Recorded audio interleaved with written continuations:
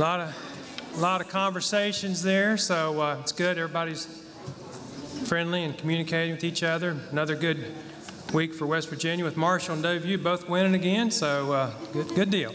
Um, so I um, want to celebrate a little bit about our gym project, but before I do, a couple quick announcements. Uh, next Friday, the 6th, there's a van going to uh, Maranatha Baptist Church. Pastor Charles may talk more about it. Um, and the, the, the, message here is hope, renewal, and revival. Hope, renewal, and revival. And then the following Friday, the 13th, these are in your bulletin. On the 13th, there's a family fall festival again here on, on our property. Family Fall Festival on the 13th, Friday night. Okay, last week we. Um,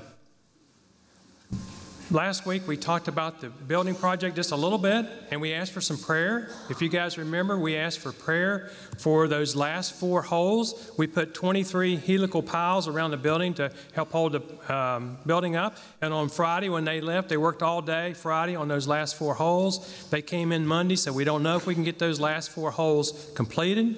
And, you know, we prayed about it on Sunday. And by the end of the day on Monday, all four of those holes are completed. So I think people saw, it was a witness to the workers and to the other people involved. And we want to celebrate all of us too that prayer works. So um, maybe back up, Josh. Just George found an old picture of the church. Um, so in I think 1980, Junior, you said you started in 1980, and uh, that gym was here, so I guess was built in 78, 79, 80, something like that. So just interesting, that's, that's what the church looks like. You can see the Fisher Hall fellowship doors there. Those glass doors are there on the right or left, whatever you're looking at there. And the church still was just up. So we're, we're painting that steel right now, so it's all good. So move on there, Josh. So uh, this is an example of the um, helical piles, the 23 around through there. Some of them were difficult. So these helical piles go down about 30 feet, and on Wednesday, they transferred the weight of the building to these 23 helical piles so now the building is sitting on those helical piles. We've got a contract, a warranty that, um, lifetime warranty that the building will never settle. So they'll come back once a year for five years, check it, just to make sure everything's good.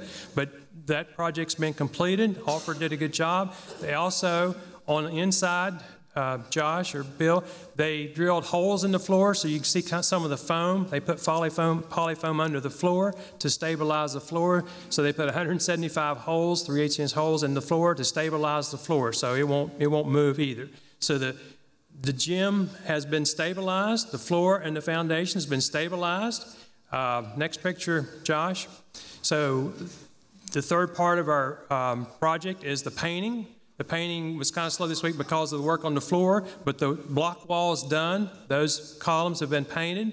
And this week, he'll paint the uh, metal walls and spray or spray the metal walls and paint the green columns on the other side. So by Wednesday, the painting will be finished. We let the uh, flooring contractors know we were going to finish a week early, so they have taken us up on the opportunity to come in here on October the 9th instead of the 20th. So they need two weeks to put down the flooring. So they'll start on October the 9th and be finished by October the 20th is the plan. So we uh, whole goal is to work from September 1, you know, September and October to have the gym out of commission. It looks right now, again, if if uh, God willing, that we'll finish it uh, a week or so ahead of schedule.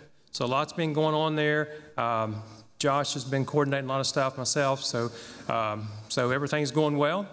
So next slide there. Uh, Jake came over, Jake Harper came over with his backhoe and uh, helped dress up the property, but more importantly, put the drains in. We wanted to get the water off of this as soon as we could. So the three, the four downspout drains that come down, Jake put in uh, drains crossways there. Josh, Mike, and myself helped. So we got the drains in and we got the rough grading completed on back there. So everything's pretty well done. We'll do a little more fine grading and some seeding here in a couple weeks, and it's it'll all be good. Um, so, just a real, I think the big thing there, it's an answer to prayer. We went to the Lord in prayer, asking, seeking His assistance in finishing those last four very difficult holes, and it all came through. And I just, I just want to celebrate and thank God for doing that.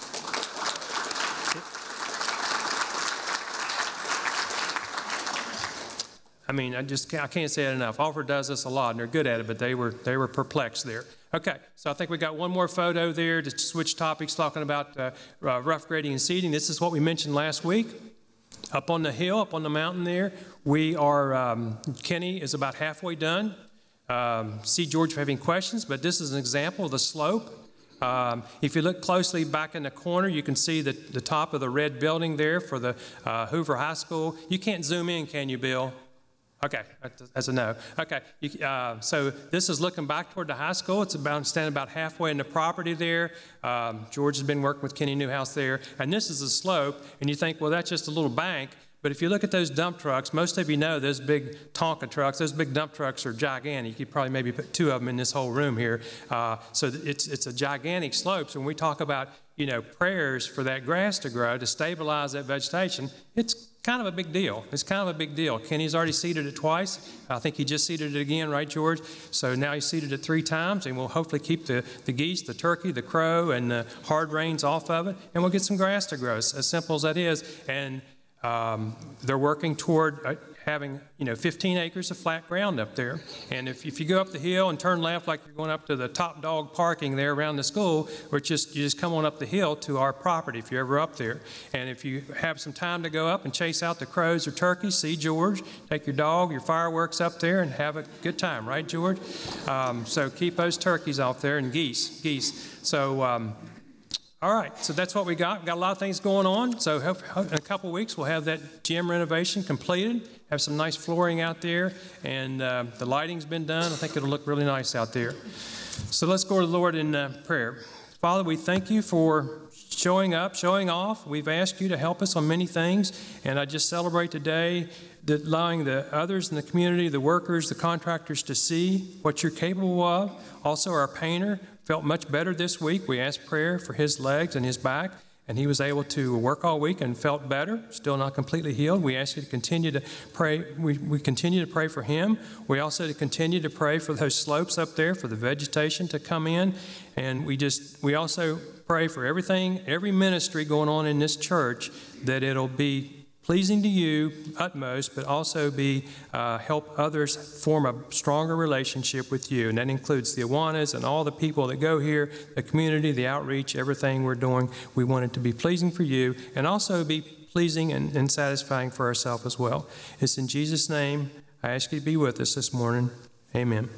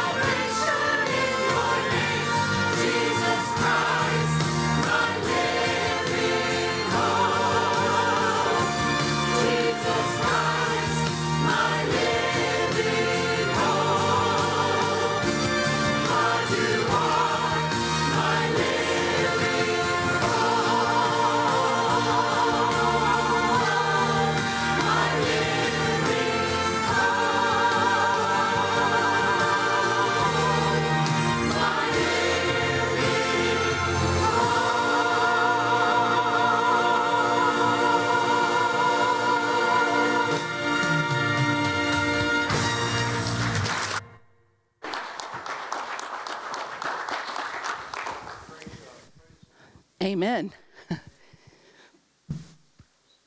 It was. Would you stand with us this morning? We have a reason to praise. We have a re- reason to worship this morning, and it is our living hope, Jesus Christ. Amen.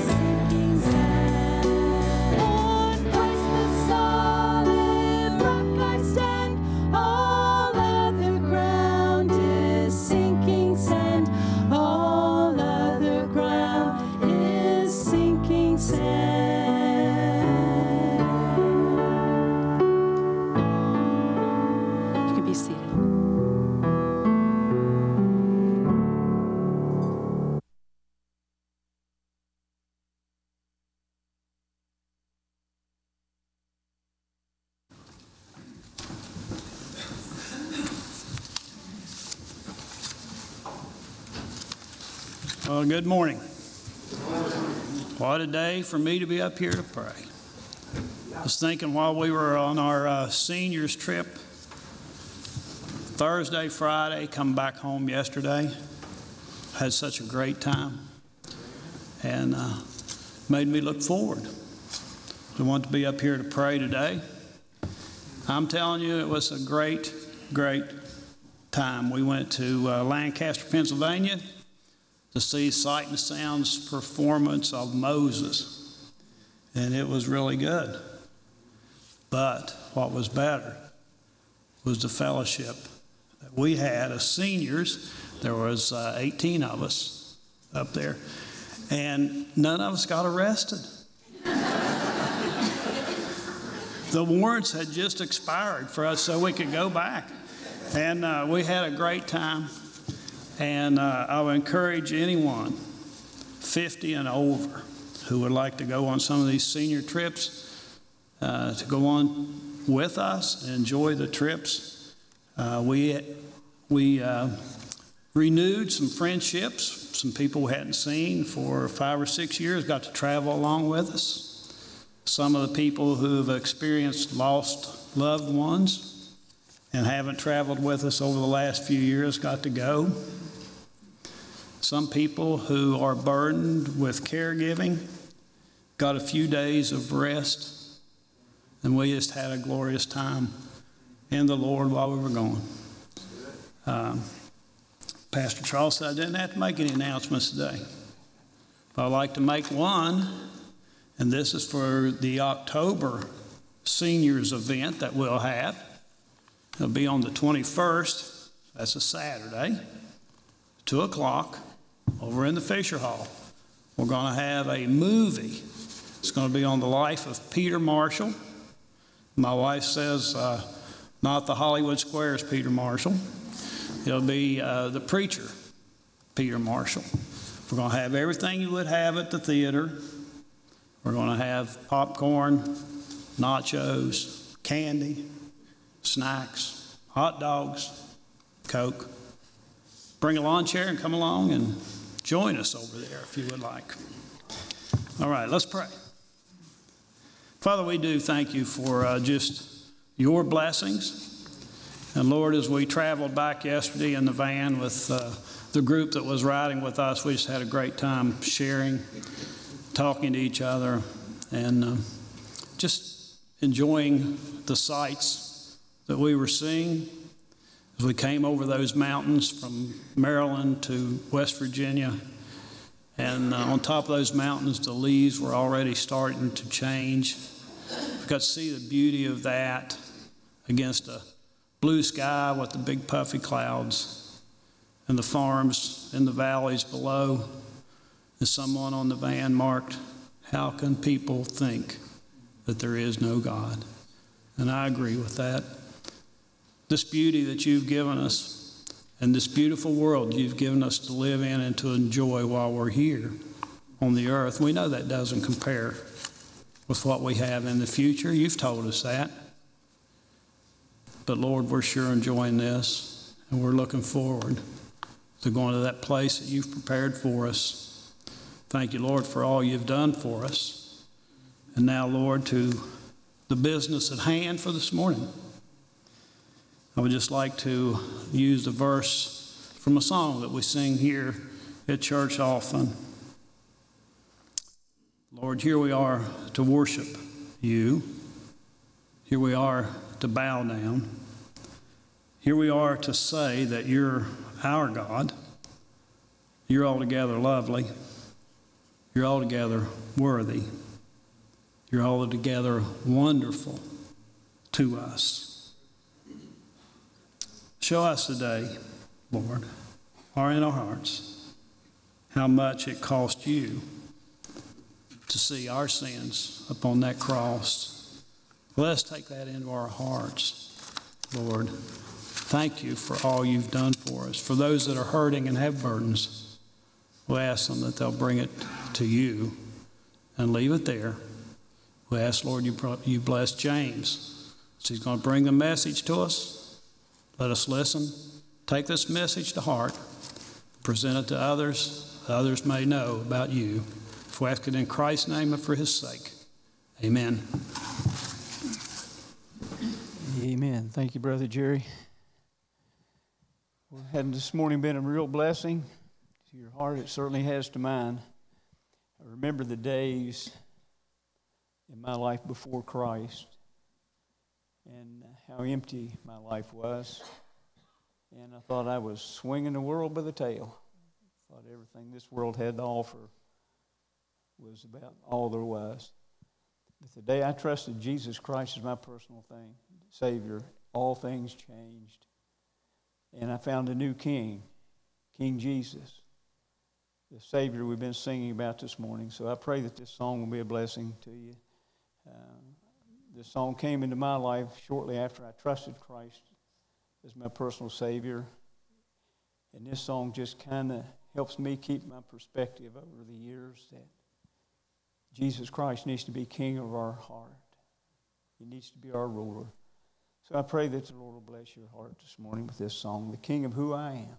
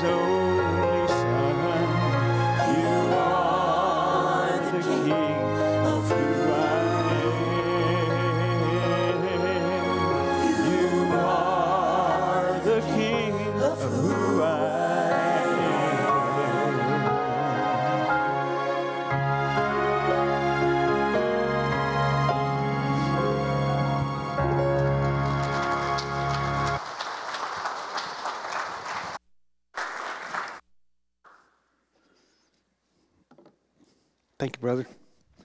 I don't know how I'm supposed to follow that up.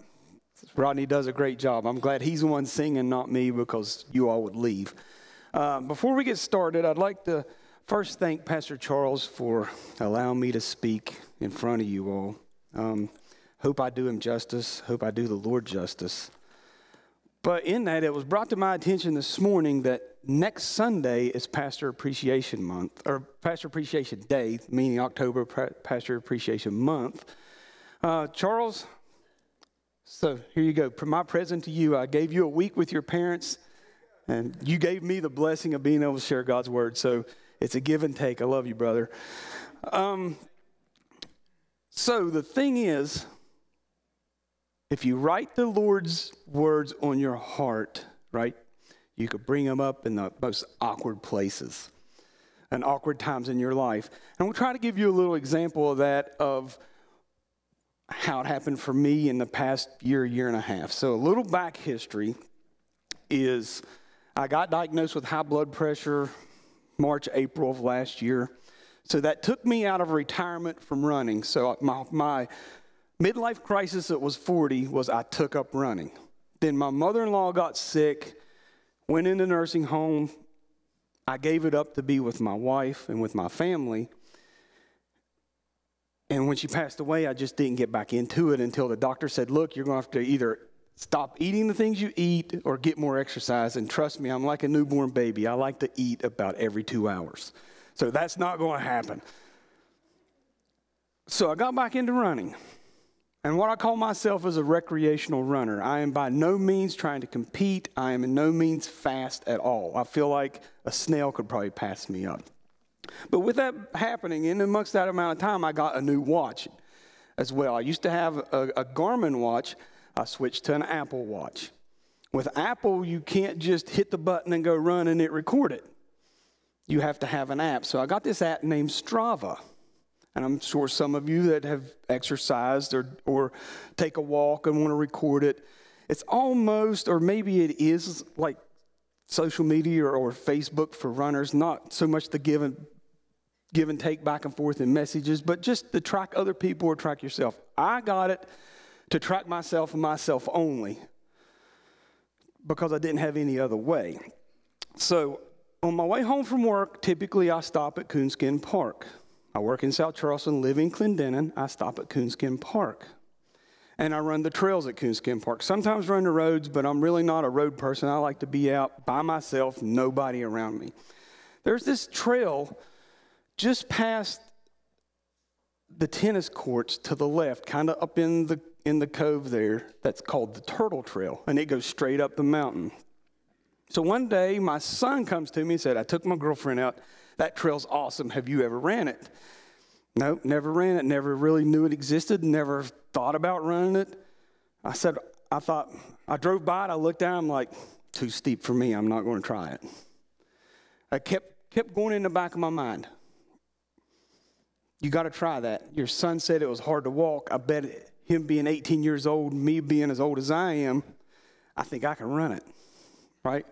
My wife tells me not everything is a competition, but James really can't go that way because most things are in my mind. So 18 and almost 48.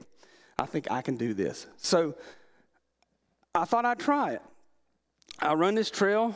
I look on Strava. You guys may be able to see this, maybe not.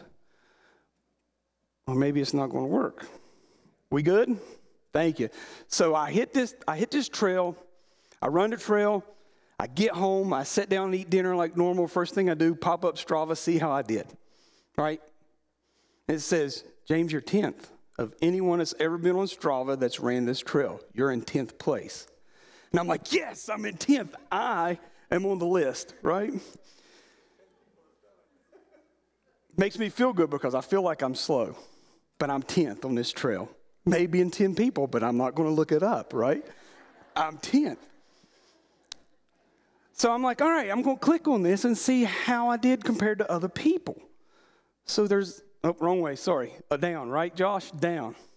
So there's the list. You probably can't see all of it, you probably can. I'm the green circle. 10th place. James is really happy.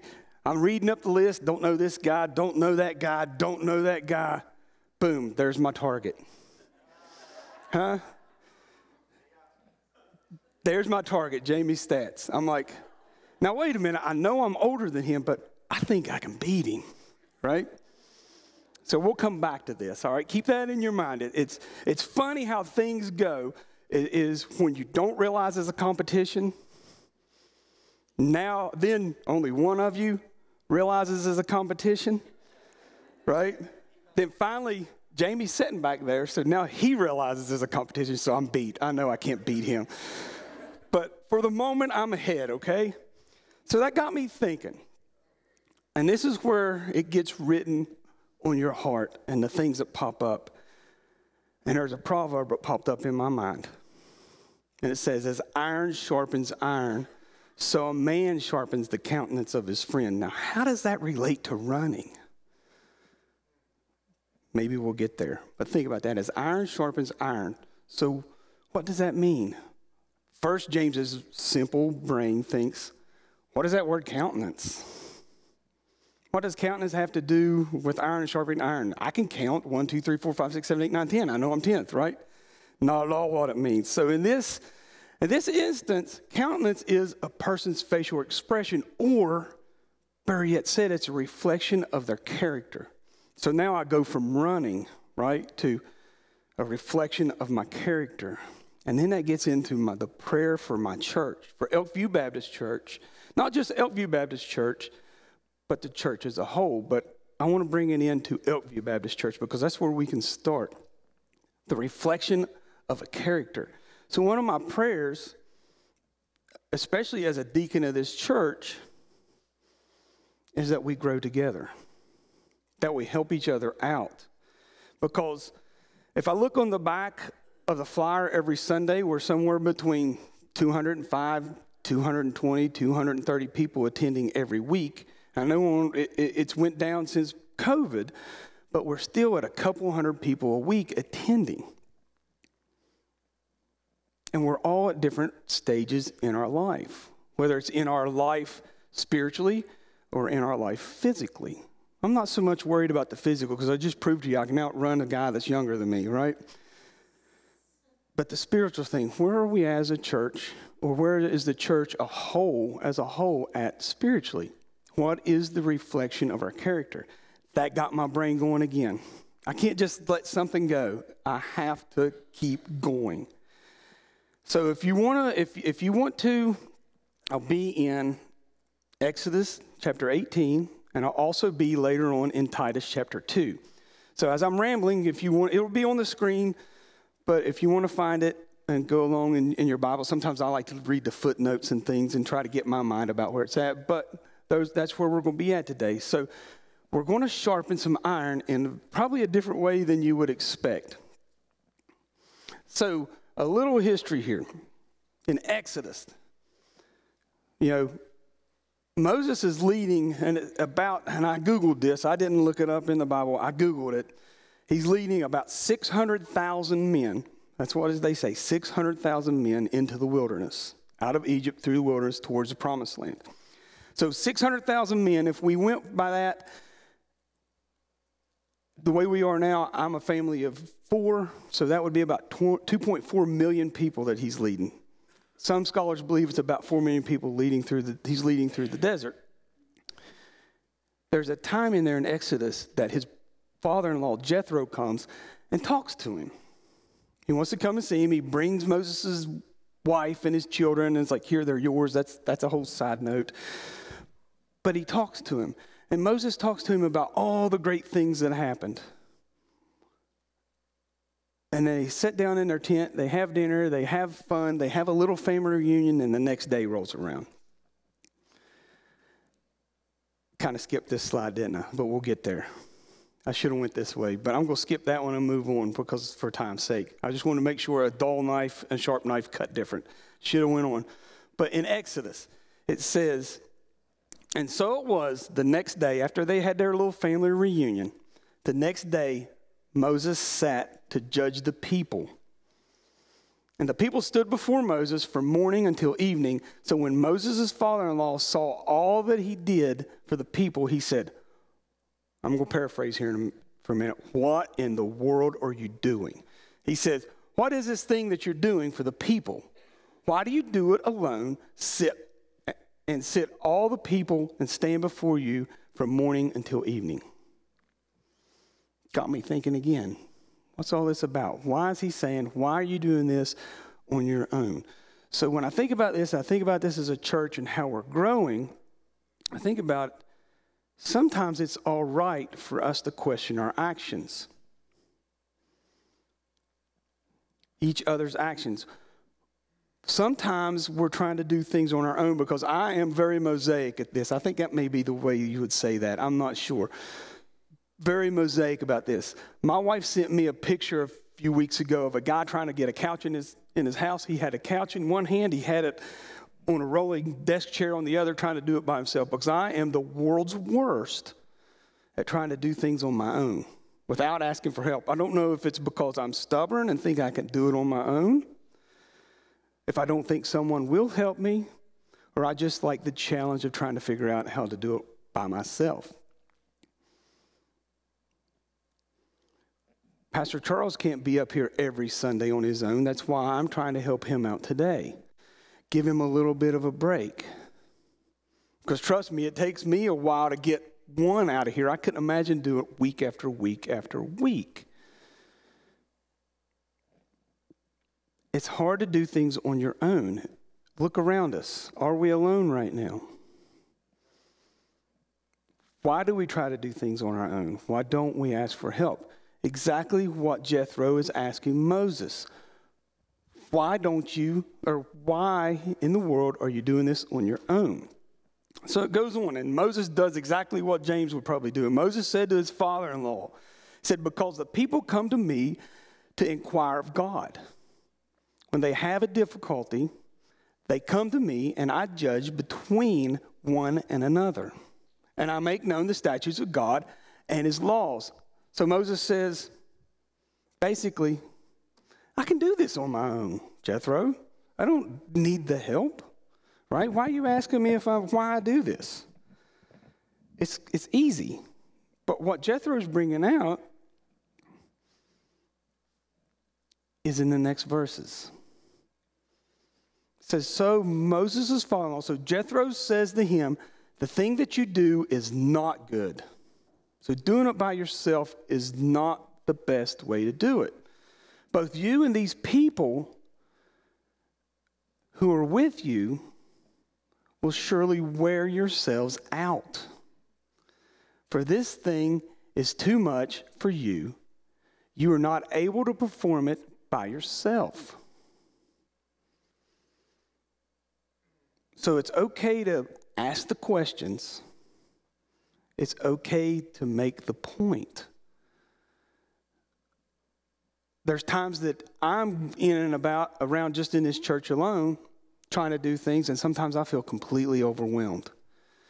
At work, I feel completely overwhelmed. At home, I feel completely overwhelmed. And I know most of you in here feel the same way. But we can do this thing together.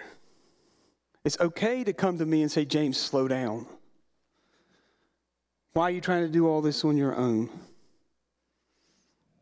Why don't you ask for help? And like Moses, I'm going to make up excuses like, oh, I'm all right. I can do it by myself. I can do it on my own. I don't know if anybody else can do this without me or without my input. But we can. We can. I mean, our motto this year is love one another, right? Serve. I don't think I can say it right, Pastor Charles. Through love, serve one another. Serve one another through love. See, I'm not very good at getting words together, but I know the meaning. So, serving one another through love means helping out. That's kind of the point I'm trying to make here. Jethro saw what was going on. Moses had been doing this over and over and over throughout the journey. But it takes Jethro to point it out. What needs the little tweak to make it better, not just for Moses, but for the entire congregation of people. So it goes on. And Jethro says, Listen, now to my voice. So it's like, hey, I'm a little bit older than you. been around the world a little bit more, listen up. I'll give you counsel, and God will be with you. Stand before God for the people so that you may bring the difficulties to God. And you shall teach them the statutes and the laws, and show them the way in which they must walk and the work they must do. Moreover, you shall select from them people, select from all the people able men, such as fear God, men of truth, hating covetousness, and place such over them to be rulers of thousands, rulers of hundreds, rulers of fifties, and rulers of tens. And let them judge the people all the times. Then it will be that every great matter they will bring to you, but every small matter they themselves shall judge. So it will be easier for you, Moses, for they will bear the burden with you. If you do this, and God so commands you, then you will be able to endure all this people will also go to their place in peace. A little bit of advice can go a long way. So, Charles, you can't do this on your own.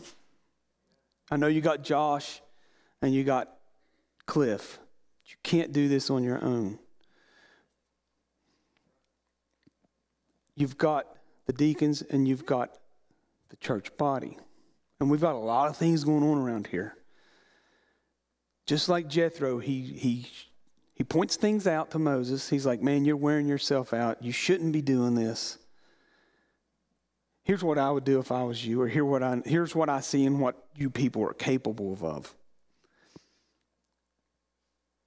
People over thousands, people over hundreds, people over tens. So Jethro's not just telling him to break it up, he's telling him to give the people the amount of work that they're capable of doing so they don't get burnt out themselves, just like Moses was doing. And we as a church can do that together by serving one another through love and loving one another by serving. Did I say it right that time? All right. So that brings me to this point. The church has many who can help. Elkview Baptist has many who can help. So if you have a concern or a complaint or anywhere in between, you don't just have to take it to Pastor Charles. You don't just have to take it to Josh if you're if you have a team. Now Cliff does something that probably most of us can't do without with through his counseling. He's a great counselor, but still you can come to others for help. It's not just those three guys that, that you can come to. You've got me. And you've got several other deacons that you can come to. You have ABF teachers that you can come to. Yes, you have your trustees. There are a lot of people do a lot of things here. I'm not saying that you don't take it to Charles if, if you think he's the right one to take it to, but we can all help out. We all love you, and I hope you all love us back. I don't want it being, I didn't even realize this was Pastor Appreciation Month until it was brought up to me this morning. But it kind of goes hand in hand. Is I'm here to help him, and I'm here to help him.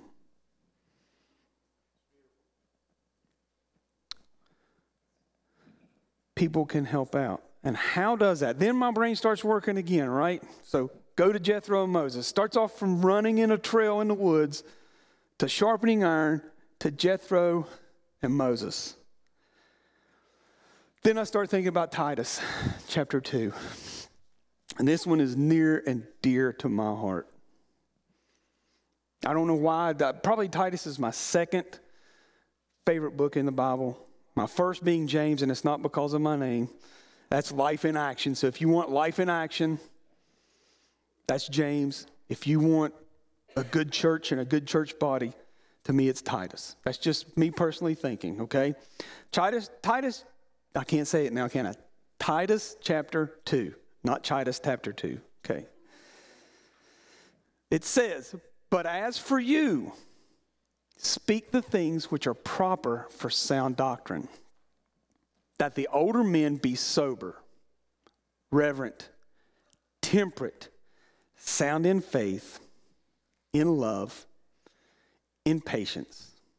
The older women likewise, that they be reverent in behavior, not slanderers, not given to much wine, teachers of good things. It goes on a little bit talking about the young men and the young women, but I want to stop here and not take it any further in Titus because there's, to me, there's a lot of importance in these three chapter or these three verses of this chapter. Number one, and if you've been in the Berean Bible class, you you probably know how I feel about this one. Is helping each other grow. The first thing we have to take in account is that sound doctrine is always important. Okay? In this chapter, it talks about sound doctrine, and there's a lot of wolves out there that can take the words of God and twist them up and spin them around and make it feel like it's right.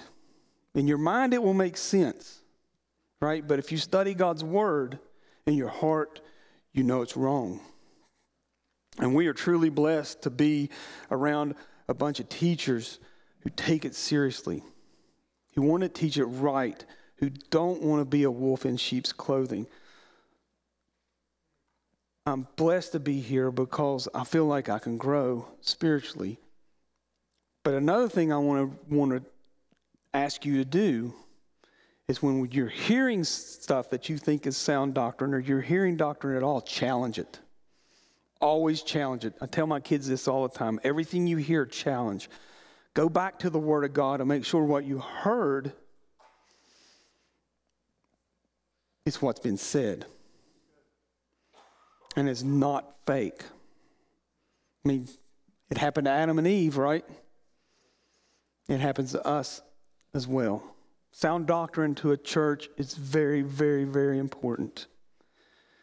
The next point I want to make it talks about older men and women and all the things they should be. And it says in there, women don't be slanderers, but I know there's men that do it too, okay? Slander can hurt a church, slander can hurt a family, slander can hurt a workplace. But what am I getting at with the old men and old women? I want to read something for you. It's not on here, but I got it, and I'm probably going to put my glasses on because I'm one of these first people you're talking about now, the old men, okay? So give me a minute to get these on. You can turn there if you want, but I want to read it. It's Hebrews 5 13 and 14. It says, For everyone who partakes only of milk is unskilled in the word of righteousness, for he is a babe. But solid food belongs to those who are full age. That is, those who by reason of use have their senses exercised to discern both good and evil. So when I read that, the Spirit tells me that these old men and these old women that I'm talking about here that, want, that should set the example for the younger people are not always the in age the oldest person in the room. We're all at different stages in our lives. We had a baby dedication two weeks ago. And those babies, for the majority of them, are still eating soft foods, right? Or not even eat, chewing at all, still just a suckling, or however you would say that, right? We're all like that spiritually at one point. We have people here who are on the fence whether even they've ex- or to accept Christ yet or not. We have people who are just started the journey. And we have people who are pretty much PhDs in, in the book of God, in the Bible itself. but we all have to start off with the soft food. I tell you, I grew more when I was probably 33 to 35 than I've ever grown in my life. And it was by somebody that was about 10 years younger than me. When Luke Lacey came onto the scene in Clendenin, I grew leaps and bounds. So these old men and old women don't think it's age related. It's not, it's spirit related. There's probably teenagers here that could probably teach me something.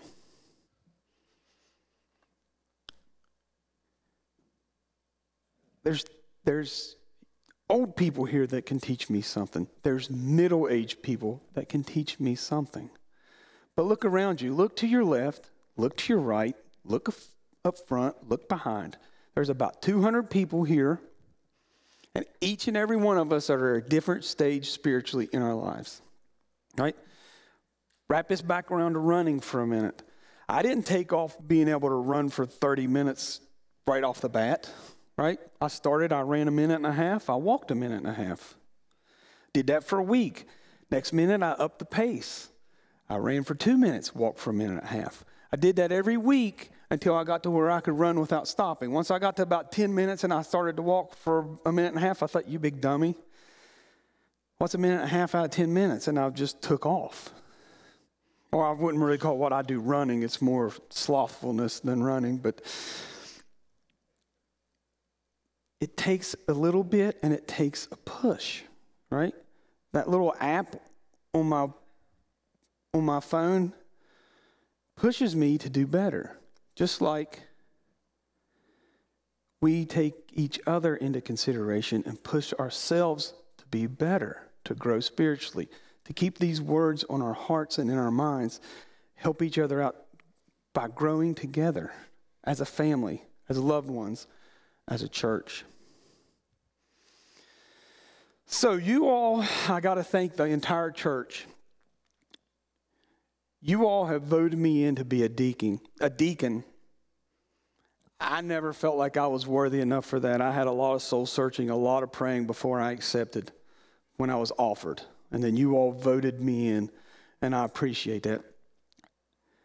One Tuesday a month, I get to be in a meeting with some highly intelligent individuals, very godly men, people that I feel I need to aspire to be like. And it got me thinking with this iron sharpens iron at the beginning that I talked about and build the countenance of each other and all that. I got to thinking of the people in that room alone that are, that are trying their best to steer this church, to still steer Elkview Baptist Church in the right direction and be a godly church. These godly men are amazing. I got to think about that, and I got to thinking of the men I'm around, and me being an 80s kid, I love ninja movies. Right? I absolutely love ninja movies. I'd like to sit down and watch them with my kids, but I know that the things they watch now are so much better quality than the 80s movie, they'd probably hate it. But I loved ninja movies. And I got to thinking about some of the guys in the room when I'm in those meetings.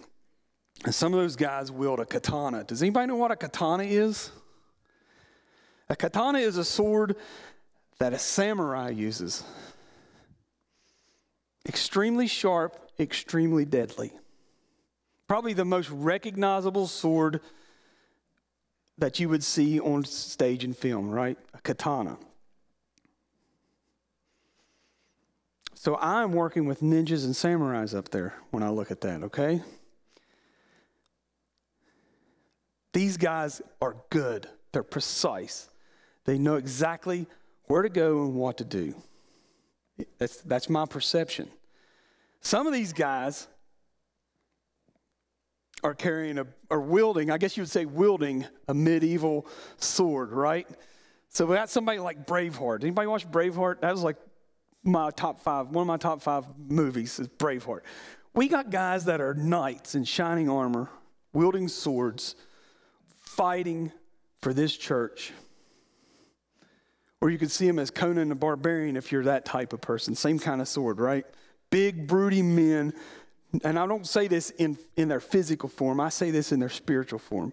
We got precise men that are ninjas. We got barbarians who will fight to the death for the Lord and do what is right for this church. What about the, the, the scimitar? I believe I'm pronouncing that right. It's also a medieval sword from the, from the Middle East. So the dude Indiana Jones shot, he was doing, he was flipping one of these things around, right? He was going to kill Indiana Jones in one of those movies, and he pulled out the pistol and shot him. But these guys know what they're doing. These three swords up here are swords that people use that know what they're doing. And those deacons, they know what they're doing. I mean, yes, we're men, we're, we're, we're not perfect by no means, but these guys know what they're doing, right? And then you got my sword. I saved my sword for last because I brought it with me. This is what they make me feel like I'm carrying when I'm up there with them. I will fight to the death with this as best I can. That's what these guys make me feel like that you put up there. And I appreciate you because what I'm saying is, is even though I play against sword fighters with a plastic knife, I'm learning. I'm growing through these guys and the love they have for you all, the love they have for each other, and the love they have for me. Most importantly, the love they have for God. So maybe one of my, maybe my plastic knife one day will become a pocket knife. I don't know. but I'm going to try. And I thank you all for allowing me to use my plastic knife to the best of my ability. So let's kind of close this up a little bit. How do we sharpen ourselves?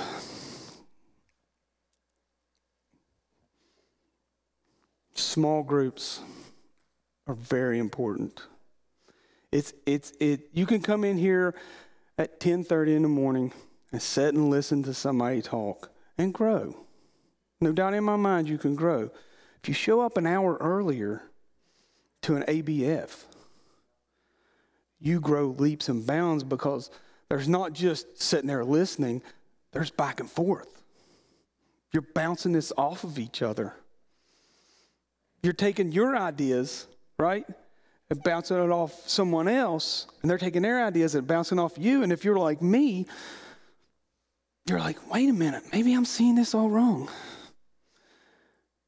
And then it adds to growth because two or three people together, you bounce these ideas off, and the truth comes out, and the growth comes with it. Another thing we can do is align ourselves with the right people. Okay? And when I say that, there's people in here that can teach us an amazing amount of things. It's not just their understanding of the Bible, it's the conduct of their lives. There's a lot of things that go on. I think about this. I asked Pastor Cliff last week how long he had been in ministry. I think he may have started when he was like somewhere between three and five years old because he said 57 years. That's 10 years before I was born, depending on the month. Jerry's up here talking about the senior trip. I've got two years, four months, and eight days, and I can hang out with you all. But align yourself with the right people, right? If you're wanting to learn, attach yourself to a mentor. Someone you know, or you at least you can believe is teaching the Word of God the way it should be, or understands it the way it should be, and challenge them.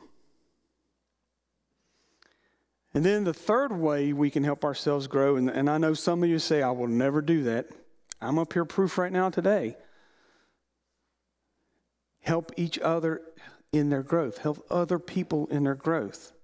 When you teach somebody something, you learn an immense amount. More than you can get out to that person. You learn an immense amount, whether it's whether it's teaching my wife algebra when she was in college, I was okay at algebra, but man, I really understand it now trying to teach her algebra. Or whether it's filling in for Lane in the Berean class when he's unavailable or just needs a break. Right now, we're going through the book of Ephesians, and I've read it, and I've read it, and I've read it, and I've read it, and I've read it again. And I'm like, yeah, that's a good book. But then when we break it down, I can get through, when I'm covering Lane, I can get through maybe one or two verses because it's full of a lot of stuff when you start getting into it. So help others with their growth, which brings me to my final point. This little list again, right? I started off thinking, man, top 10. Oh, gosh, Jamie beat me, right? There's Jamie as the last time I checked. Huh? And there's James. Granted, now wait a minute. Let, uh, let, let's let's let's keep this in context though. I run three to five miles.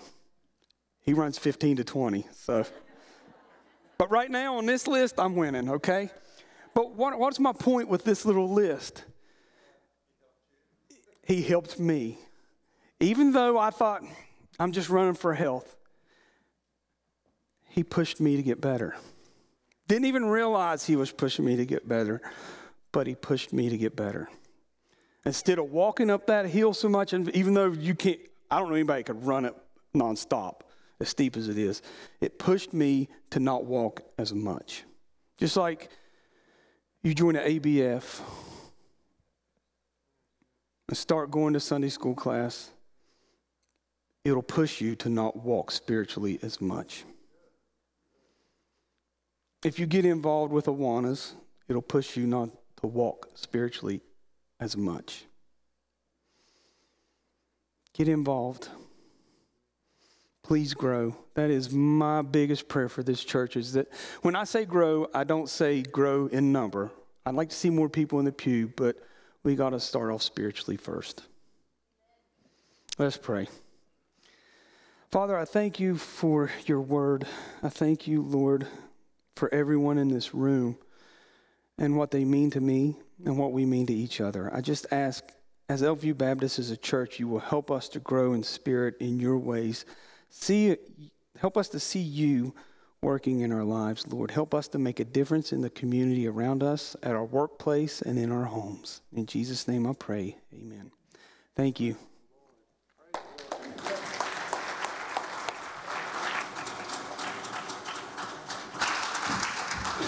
James, that was so edifying, encouraging.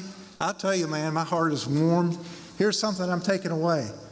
I am not alone. I realize that a little bit more today. I am not alone. I've stepped away from this church from Monday, uh, the Tuesday night I got to Norfolk with my parents, and I left Friday morning. So I was out that big chunk of time. Praise the Lord. Do you think something got done around here this week? The choir sing? Did Awana happen? Did Wednesday night teaching happen?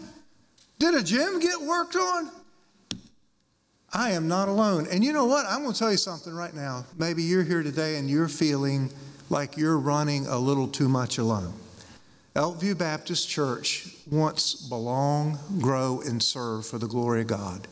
This is a spiritual family we can all belong to.